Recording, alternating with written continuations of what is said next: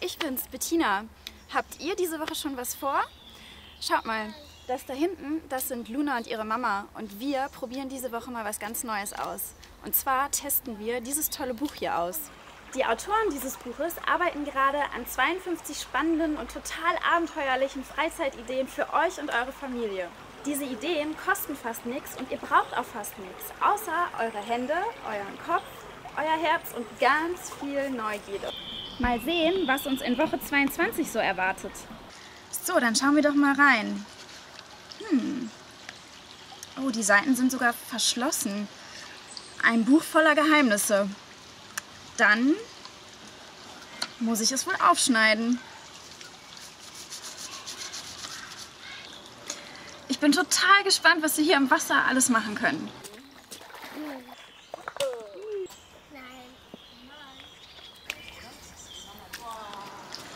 Wahnsinn, welche Kraft die Natur hat.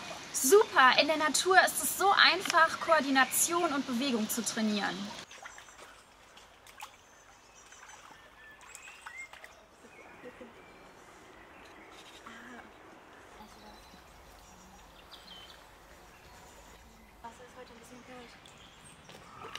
Wow, Luna, hast du das gerade gebastelt?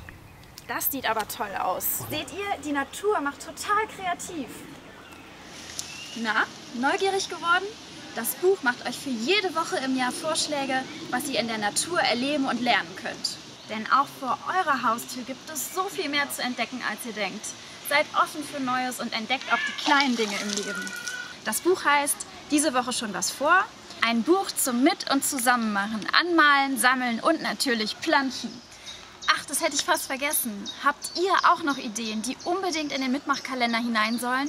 Dann meldet euch gerne bei mir oder auf Instagram unter dem Hashtag 52 mal was vor. Ich lasse bald wieder von mir hören und sehen. Bis dahin, bleibt natürlich.